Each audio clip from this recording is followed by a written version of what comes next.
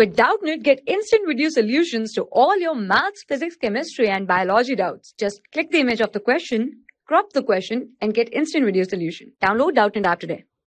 Hello everyone. Here the question is the wavelength in angstrom of an emission line obtained for lithium plus 2 during an electronic transition from 2 to 1.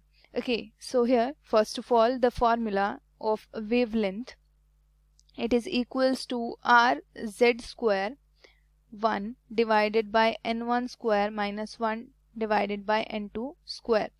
So here r is the Rydberg constant, z is the atomic number, the atomic number of lithium plus 2 is 1, n1 here is 1 and n2 is 2 here. Putting the values here 1 by lambda, here in the options the value of r is constant or here the value of r is not written.